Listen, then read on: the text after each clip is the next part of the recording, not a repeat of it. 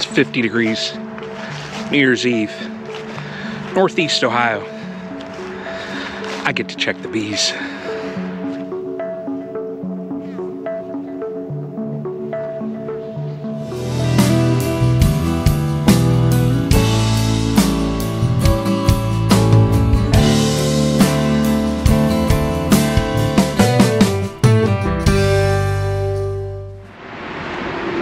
Buddy, welcome to Castle Hive. So what we're doing today, we got an odd day in Ohio. So Northeast Ohio, uh, December 31st, 2021. It is 50 degrees and it is 11 o'clock in the morning. So perfect chance that I can come over, check in my Vivaldi boards, just see how things look. Um, I'm gonna also try and get the scope so get some footage there and just peek in on the hives here. So um, let's get into this hive here. I mean, I'm so excited to check this out. Let's get on over here. All right, y'all, let's see. Now this is the main castle hive. So um, this hive body here is the very first hive I ever bought. So five years ago. Oh, look at that. Looking good plenty of sugar up in here. There's some girls here. I even saw some girls flying out of the front there.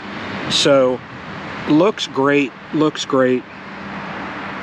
Wow, no need to check anything else on this. Um, letting them go. Wow, look at that.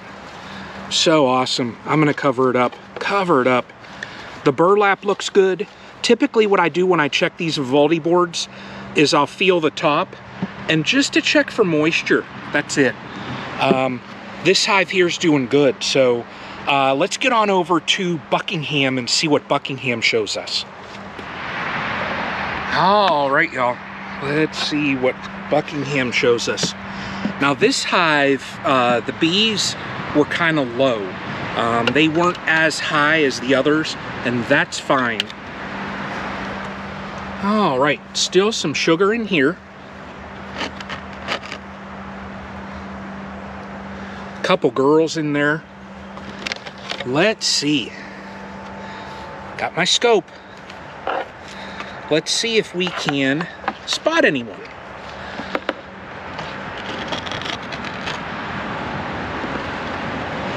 And again, the only reason why I'm doing this is it's 50 degrees. So let's see.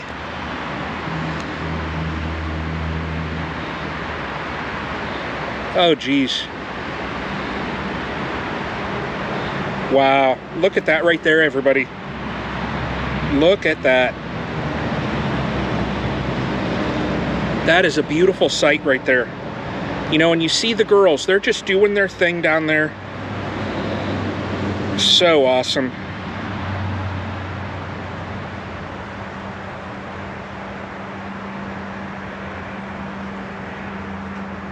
Those that watch also, you'll know I love my gadgets.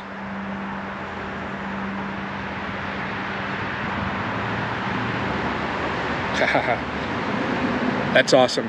So Buckingham is is looking good. So let me get this uh, Vivaldi here back together. I did see that um, they're in the winter patty as well. So I've got winter patties on all of the hives. Uh, this is the first winter where I'm really trying to supplement all of my hives through the winter. I want to enter into the spring um, with, you know, as large of clusters as what I can. And then in the springtime, when we get close into March, uh, I'm going to switch over those winter patties into like a protein patty. And that way, you know, my queen, she can sense that and get that extra protein coming in. And you know she can start laying eggs and they can brood out. I'm, I'm hoping super early this next year. So crossing my fingers on that. So let me get uh, here we go. Let's get the burlap back on this and get this closed up um, but normally you know normally I would not do this because this time of year in Ohio it, it's normally not this warm. Um, this is just unseasonably warm uh, for, you know, this time of year in Ohio. So, but I'm taking advantage of it. And, you know, one thing that you have to do also is, you know, with it being this warm, just make sure that they don't starve out. Um, you know, that increased activity means they're going to be consuming more stores than what they regularly would. If it was, you know, 10 degrees right now, they'd be tightly clustered up and not moving around. There's even a couple that I've seen flying, so they're burning up that energy, burning those stores faster. So let's get over to the horizontal hive here and see if we can spot anything there. Um, curious on how that does through this winter, so let's get on over to the Helms Deep horizontal hive. We got a couple dead girls up in here. The cluster in this hive was right in about here. Um, so let me see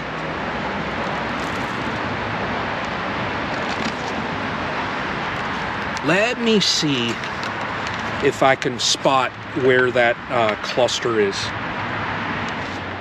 That right there is not a good sign. That's not what I want to see right there. Let's go to the front.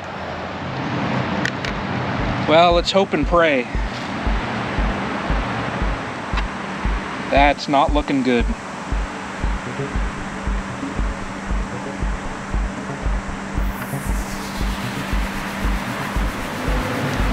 Not looking good here. Let me go get a hive tool.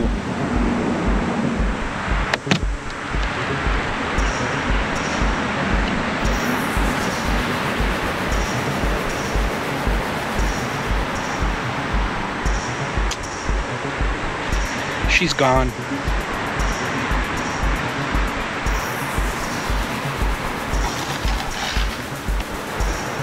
I can see right here, there's just a little teeny cluster.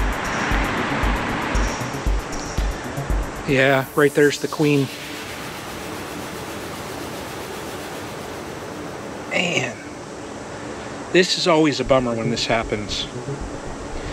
Man, set her there. I'm gonna have to come back and clean this. Um,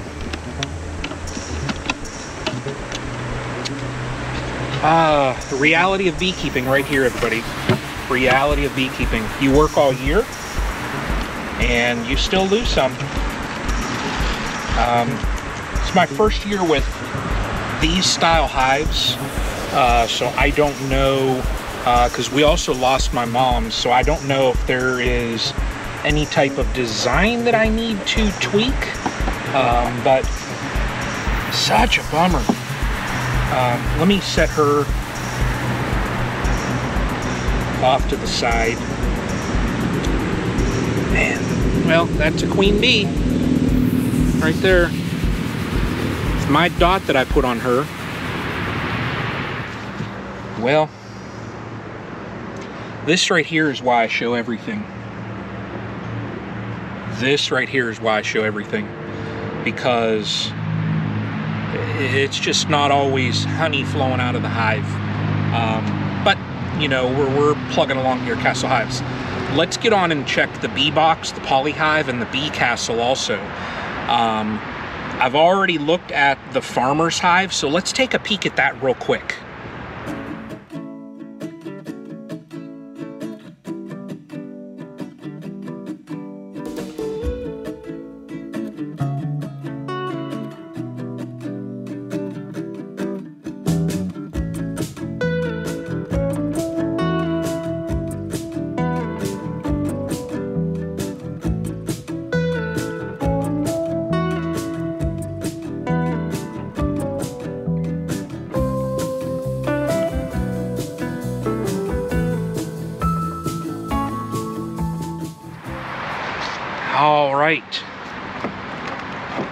Everybody, that farmer's hive is doing great.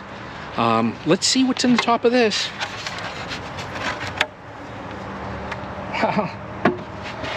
well, there's some girls in there. There's still sugar. A Couple dead girls up in here.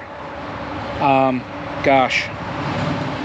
I do not want to crack this. Um, I see girls right there.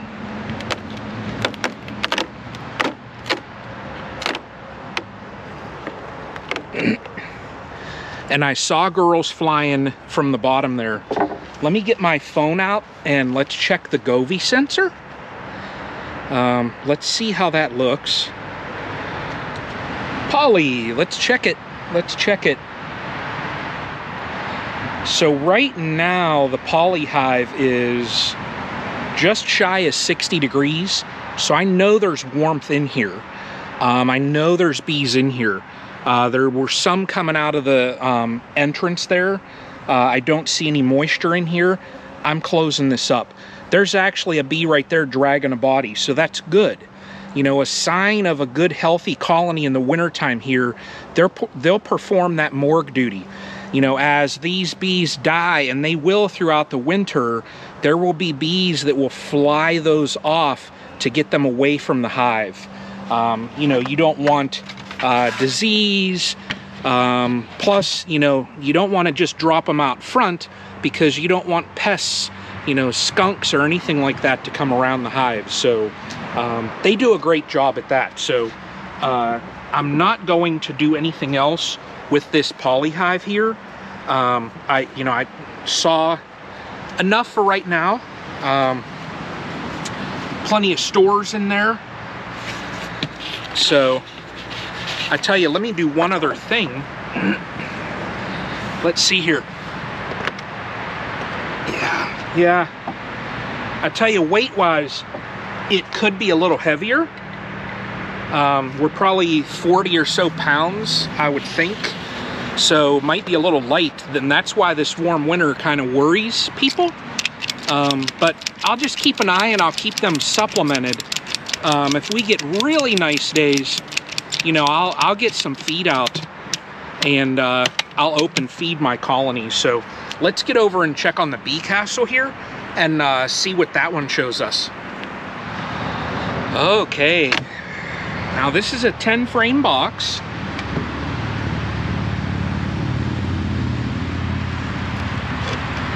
Holy Moses.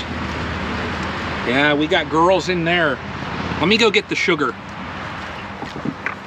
Nice sized population here. Let me move you guys closer. Look at that, y'all. Look at that.